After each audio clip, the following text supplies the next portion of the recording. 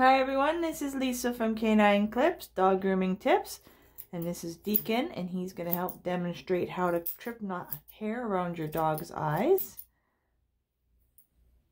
So I just want to give you a quick little video of that.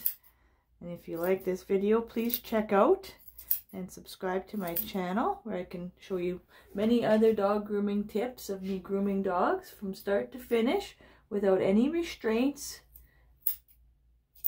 and in just under one hour. So hopefully you'll check that out. Basically, I use the scissors to uh, just get underneath the eyes and any um any matting or any tearing that's stuck on there. You can see he's a little bit resistant, but still does very well.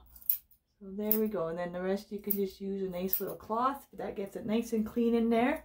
For you to keep those eyes nice and clean so they can see. So thanks for watching.